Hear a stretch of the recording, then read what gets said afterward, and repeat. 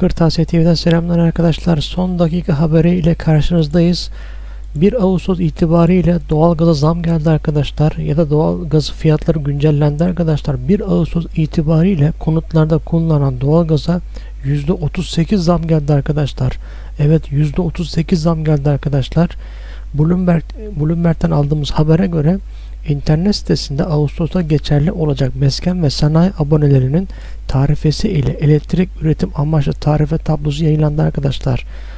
BOTAŞ bu haberi yayınladı. Buna göre Ağustos ayında konutlarında kullanılan doğalgazın toplam satış fiyatı %38. Yıllık doğalgaz tüketimi 300 bin metreküp ve altında olan serbest tüketicilerin elektrik üretimi haricinde kullandıkları doğalgazın satışı ise arkadaşlar %33 arttı.